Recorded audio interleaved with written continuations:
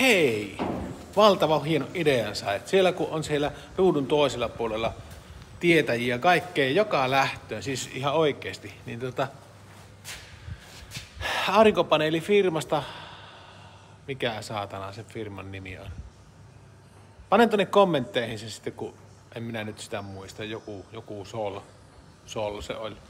Niin tota, tulloo nyt neljän jälkeen tota ukko tekemään käännytystyötä, että otanko aurinkopaneelit, niin tota, kertokeepa mulle siellä kommenteissa, että tota, mitä minun pitäisi kysyä, mitä kannattaa ottaa huomioon.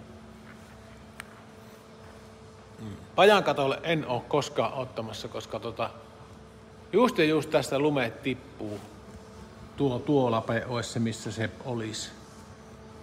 Ja siellä jos on paneelit, niin sieltä ei tipu lumi, se on ihan varma juttu. Ja minä en halua tähän yhtä ylimääräistä kuormaa tähän katolle. Varsinkin kun se on sitten epäsymmetristä kuormaa, koska tuolle lappeelle ei yleensä lunta tule juurikaan.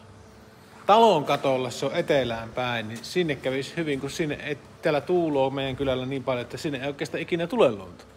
Se toimisi tosi paljon paremmin sen puolesta, en tiedä onko se suunta ihan oikeasti. Mutta tota, en minä ole siitä millä tavalla nyt kiinnostunut enkä innostunut koko aurinkopaneeleista vieläkään. Mutta kuitenkin niin, kannattaa minua nyt ohjeistaa tässä hommassa, että osaan panna koville se, että ei, ei höpötä. Joo. Lähtee päivä kahville tässä. Niin tota. Tosiaan minä paan siihen kommentteihin sen ja kuvaukseen sen, sen firman nimen, mistä on tulossa käännytystyötä tekemään.